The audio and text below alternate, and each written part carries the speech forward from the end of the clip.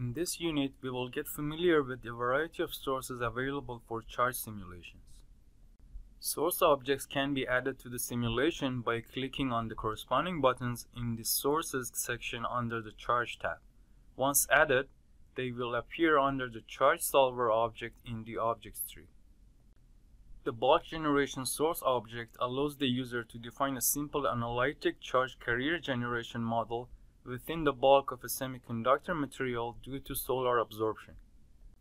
It is most commonly used to model optical generation in solar cells as it includes built-in solar spectrum data needed for generation rate calculation. The location and size of the object can be adjusted in the geometry section. The direction of illumination can be chosen by picking one of the six sides of the cubic region. The solar spectrum of choice can be selected from the spectrum option. The AM1.5G solar spectrum is the most common spectrum used. The material within which the optical generation happens should also be selected in order for the object to correctly calculate the generation rate based on material properties. In addition, the reflection from illumination phase at the interface between air and semiconductor can also be modeled. If not selected, the surface is assumed to have no optical loss due to reflection. A plot of the generation rate versus position or depth into the semiconductor layer will be generated on the bottom right corner of the window. For a more realistic solar cell simulation, a separate optical simulation is required to obtain the optical generation within the semiconductor.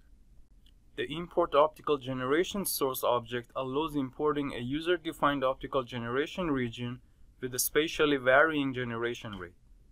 This allows importing optical generation calculated from light absorption in optical simulations using optical solvers such as FDTD or DGTD.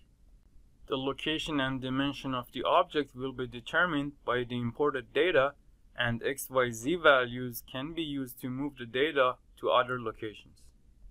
By default, the generation object will be applied to all the simulation domains overlapping with the defined geometry of the object. Users have the option to select specific domains or solid objects that they want the optical generation to get applied to. In this case, other areas overlapping with the geometry of the generation object will not have any optical generation assigned. This feature can be used to define non-box shaped optical generation profiles. Furthermore, by default, the geometry is defined with respect to the global coordinates origin 0, 0, 0.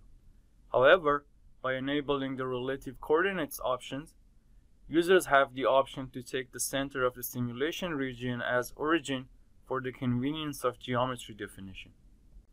Under the Data tab, the file containing the optical generation data can be specified. The file must be in MATLAB format, .mat extension, and data can be defined over a rectangular or a finite element mesh grid. The unit for the imported generation data should be per cubic meter per second. For an example of importing optical generation using this object, please visit the related links below.